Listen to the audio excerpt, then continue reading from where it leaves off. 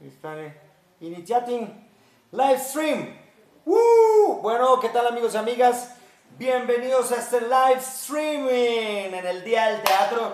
¡Woo! El teatro, entonces hoy es un día para homenajear a nada más que al bardo, a don William Shakespeare, ¿sí? Em, a Fernando Rojas, que escribió La Celestina. Eh, ¿Quién más homenajeamos el día de hoy? A Lope de Vega, oh, grande, a Jean Jucot, a Bertolt Brecht, a Stanislavski, a Eugene Ionesco, todos los que han escrito teatro, los grandes maestros, y, bueno, entonces quiero agradecer a todos los mensajes en el día del, eh, el día del teatro. Entonces, estoy muy feliz y, ya. ¿Sí me están viendo? Sí. ¿Sí? ¿Ya estamos viendo? Bueno, entonces esto es 360. Esto es 360, entonces usted lo puede ver por todo lado. Eh, puede manejar ahí el mouse y entonces ver para arriba, para abajo. Y entonces eh, también tengo aquí a, mi gran amigo López. Hola, ¿cómo están? ¿Qué cuentan? Eh, hoy es el día del teatro. Hoy es el día del teatro. Hola, hola. Oh, es un video muy chévere. Oh, ¿No tiene por ahí una Barbie que me presente? Oiga, presente una Barbie. ¿Sí? Ah, ah, ah, lo bien. Presente una Barbie presente una Barbie o, o, le, o le recibo cual, cualquiera una Bratz, lo que haya. Entonces, muchas gracias y les digo, el día de hoy, el día de hoy, eh, ¿qué tenemos el día de hoy? Se abren las ventas, se abren las ventas para eh, la temporada de eh, teatro de La Pelota de Letras, La Pelota de Letras y Em, mm, llegar a Marte, ¿sí o no? se abre la vena. Entonces la pelota de letras viene el viernes, llegar a Marte y la pelota de letras... no, no, es la, llegar a Marte, ¿cómo es la cosa? Bueno, usted se mete ahí en andrelopez.com que eh, a mí me decían el viernes o el sábado, dicho, está repartido, son dos horas de teatro en, de comedia en el mismo fin de semana. Entonces, un día es llegar a Marte, los otros días es eh, pelota de letras renovada. Entonces ahí lo ven, podemos ver aquí eh, todo y, y, pues muchas gracias en el Día del Teatro. Quiero explicarles además por qué en, en backstage, o sea, en tras escena, se dice, por ejemplo, cosas como, eh, ah, bueno, si usted ve allá, allá, al otro lado, allá, lo que es allá, gire, Ahí se ve la chaqueta de original. La chaqueta del primer show de la pelota de letras. Ahí está. Con esa chaqueta se hizo el primer show hace 15 años. Porque este año se celebran los 15 años de la pelota de letras. Y eh, estoy muy feliz. Entonces también les quería explicar que hay, en inglés se dice break a leg. O sea, que rompa una pierna. ¿sí? Entonces como eso es una... Parece que eso es una... Eh, rompas una pierna.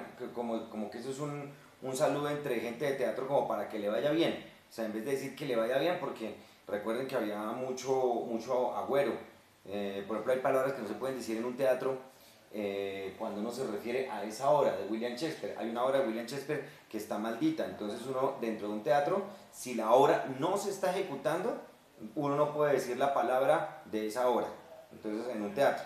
como no estamos en un teatro, si estamos en un lugar de producción teatral, pues me vas a tener de, de decir la palabra que, que, que no se puede decir en el teatro angloparlante, que es una obra de un, de un uno pues, ay, la obra esa del, del rey este, la, ay, entonces usted busca ahí qué obra no se puede decir en backstage o en un teatro cuando no se está ejecutando, que es una obra, sí, allá está Melissa, que allá trabaja Melissa, allá trabaja la niña, mm, está, está usted, ah, está usted, eso, Damaris con tilde la, ya allá están, mmm, Mm, ¿Cómo se llama? Esta, eh, mm, eh, Lorena, esta, ¿qué hubo?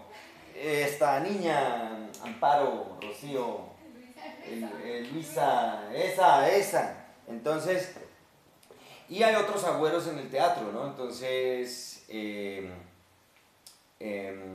¿por qué el tapete rojo? Porque uno dice, ay, extender el tapete rojo. Le extendieron el tapete rojo. Eso también tiene mucho que ver con como eran las calles en la antigüedad, que antes no estaba pavimentado, entonces eso era puro barro, entonces había que extender un tapete rojo y, si, y si había color rojo era que tenía plata para comprar el carmín, ¿sí? para comprar la, mm, el tinte rojo. y entonces ese es el tapete rojo de la entrada de las personas eh, que, de, de, los VIP de la época, very important person de la época. Antes las entradas más caras no eran las de la base, porque como les digo, eso no estaba, no estaba entapetado y, era, y servía como mercado, por eso la cosa de lanzar tomates. Lanzar tomates era porque, ¿verdad? Era un mercado, o sea, los teatreros, los actores y las obras se representaban en lugares donde se comerciaba mercado y donde se comerciaba comida. De ahí que nos guste en el cine comer crispeta y, y ay, llevar algo para tomar. Ay, el, el, el, el menaje, el menaje. Eh, a las entradas de obras en Colombia se pueden ver que la gente lleva panes, lleva sanduchitos, huevo duro, eh, eh, pollo, llevan pollo. en los teatros se han visto. Y, y hay gente, por ejemplo, que me ven shows de teatro y no sabe que los estoy viendo. Entonces, entonces se pueden hacer cositas raras. Piensan que lo que están viendo es televisión, entonces no, no, saben que yo los estoy viendo. Entonces, ¿qué otra cosa les digo? Cuando en, en teatro eh, hispanoparlante se dicen, ah, mucha mierda. Y lo mismo, eh, creo que en el teatro francés, se dice mucha mierda, mucho popis, mucho emoji popó. ¿eh? Y resulta que eso viene de el teatro cuando venían las personas muy importantes, venían en, carrozas o venían a caballo. Entonces la entrada a los teatros era llena de popó de caballo. Entonces si había mucho popó enfrente de un teatro, significaba que le había ido bien a la obra. Entonces cuando le dicen a uno mucha mierda, es que te vaya bien, que te vaya mucha gente.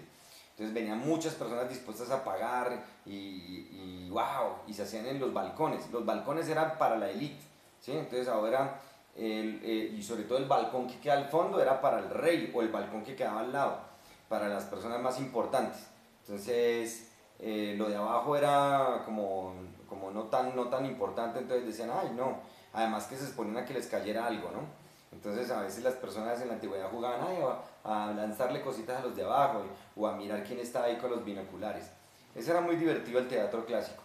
Eh, entonces, entonces eh, cuando había muchos carruajes se extendía el tapete rojo para que las personas no pisaran el popó y entonces o el barro de, de las calles y así pudieran entrar al teatro totalmente limpios. Entonces los teatros olían a veces muchísimo a feo, eh, porque no había muchos baños. Entonces uh, muchas veces a las personas que asistían al teatro antiguo les traían la mica, ¿sí? para que no tuvieran que pararse. ¿sí? para que no tuvieran que pararse y a veces esa mica terminaba eh, botada ahí cuando a alguien no le gustaba algo. Entonces era, era simpático trabajar en teatro en la antigüedad.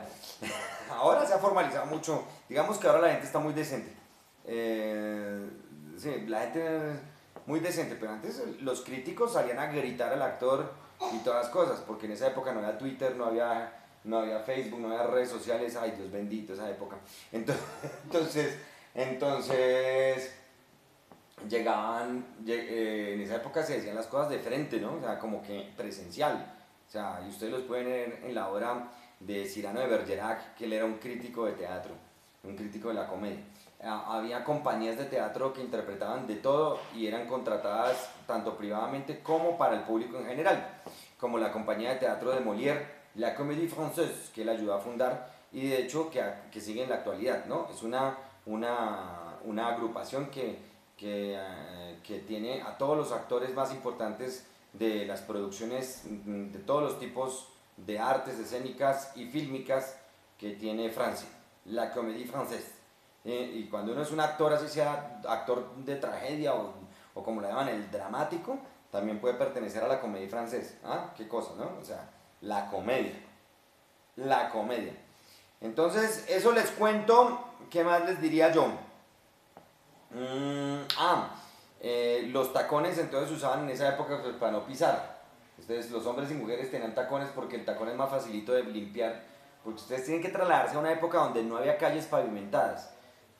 Entonces, y donde no hay alcantarillado, eh, donde no hay alcantarillado, entonces calculen. Hmm.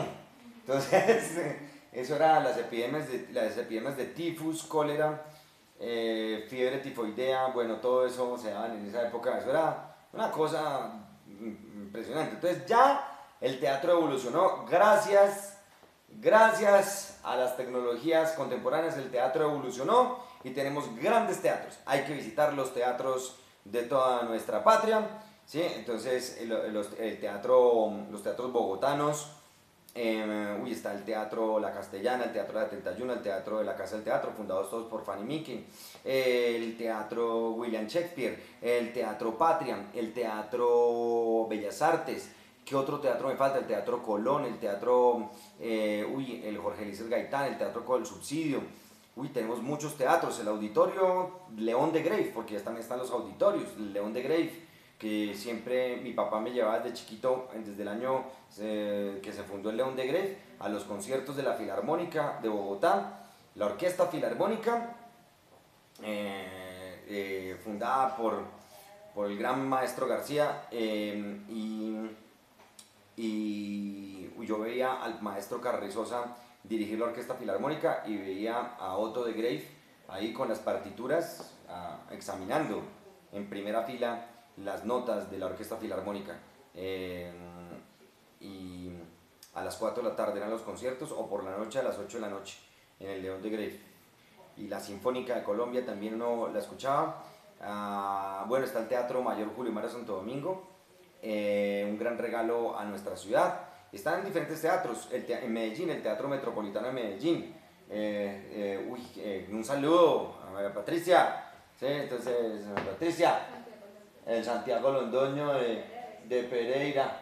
Sí, entonces, en Armenia se quemó una vez un teatro cuando yo me iba a presentar por la tarde de un cortocircuito de la consola y se quemó un teatro. Entonces, cuando yo me iba a presentar esa tarde, entonces tocó hacerle un auditorio de la Cruz Roja. Entonces, la Cruz Roja salvó el teatro ese día. Entonces, ya saben, la Cruz Roja hay que apoyarla. Y hoy cumple mi hermanita y mi sobrina. 27 de marzo cumple mi bella hermanita. Eh, y mi bella sobrinita Gaby, que les mando un besito y un abrazo. ¿Y qué más sería? Eh, ah, saludos. Ah, bueno, el teatro. Hay muchos teatros en, Barranquilla, en Cartagena, en Pedro Heredia. Está sí, el teatro. Eh, uy, en México. Eh, uy, yo me presenté en el Teatro Shah de Buenos Aires, el Teatro Shah de Buenos Aires. ahí está el Rex, ¿no? Y está en el gran auditorio Luna Park.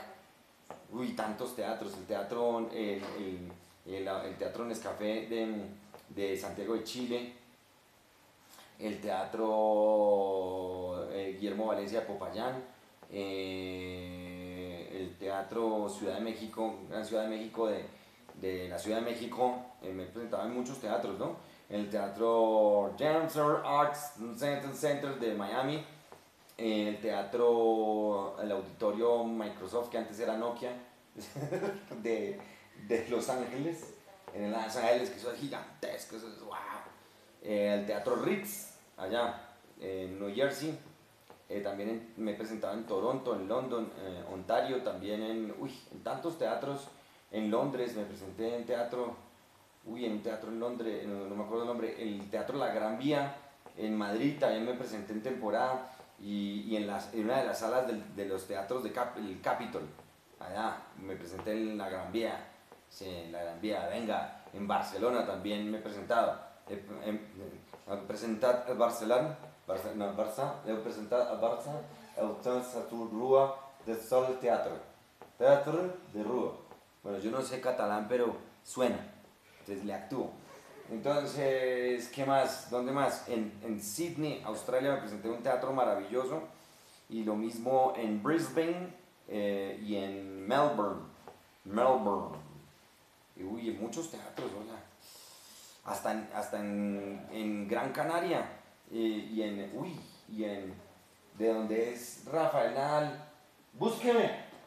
Hey, Rafael Nadal. Él nació en... ¿En dónde nació Rafael Nadal? Ah, rápido, rápido, él nació en una isla y yo me presenté en esa isla varias veces en el teatro de allá, que es el teatro más grande de la isla. Que, eh, Mallorca, Palma de Mallorca. Eso, Palma de Mallorca, él, es mallorquí. Entonces, y también, bueno, me presentaba en discotecas porque no había teatro, entonces tocaba en discotecas. Entonces me tocó fundar el Stand Comedy, Stand Comedy, comedia unipersonal en monólogo en monólogo. Un saludo a mis grandes compañeros y actores teatreros. Un saludo a Mickey Mafanton, a Dal Ramones, a Eugenio Derbez, a Héctor Suárez Bertiz, Héctor Suárez Gómez, a, todos quiero saludar a, mis gra- grandes amigos eh, que se han enfrentado a las tablas desde la música y, y- y la- y las artes escénicas. Eh, uy, tantos, tantos. A Wilson León, a, Fanny Miki, que fue la que me descubrió. A todos ellos que muchas gracias, se les quiere. Bueno, esto fue un Facebook Live. Espero les haya gustado. Feliz día del teatro. Y. Los saludos desde Caracas, Alemania, Ay, tan lindos. Minnesota, Eh, Minnesota, Minnesota. Minnesota. Zipaquirá, en Minnesota. Desde Alemania, Germany. desde Germany. Santa Cruz de la Sierra, Santa Cruz de la Sierra, Bolivia. La chaya boliviana. Chin, chin, chin, chin, chin, chin. Uh. Miami, Miami, welcome to my. Santander, A Santander, España. Venga. Desde España. España, En Espanha? Porque tenho que ir à Espanha, venga. Brasil, Brasil, obrigado, você famosos.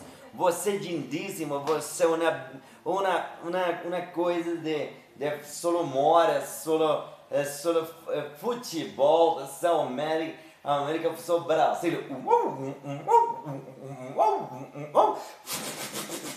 ¿De dónde más? de Venezuela, Venezuela, estoy contigo, Venezuela, tú sabes. Ya viene el cambio. ¡Uh! ya viene el cambio. ¡Uh! Está, la, está la J. Mira, J, haz el sonido de la J. Tú sabes. Eso, la J. Pasto, Pasto Nariño. Guay que sí, guay que no, la guadeña que me. Eso. Sí, ¿no? O sea, guay- ¿dónde más? Bogotá, Bogotá, un abrazo a mi gente, a mis rolos y rolitas, cachacos hasta el final. Mucho orgullo, Monserrate, Guadalupe, Transmilenio. Eso, vamos para adelante. Eso. dicen muy obrigado, Andrés. Ah, muito obrigado, você famosa. Eso, mire.